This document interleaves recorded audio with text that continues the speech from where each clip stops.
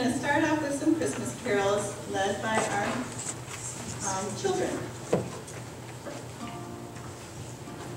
Good morning. Our first song this morning will be Angels from the Realms of Glory, 119.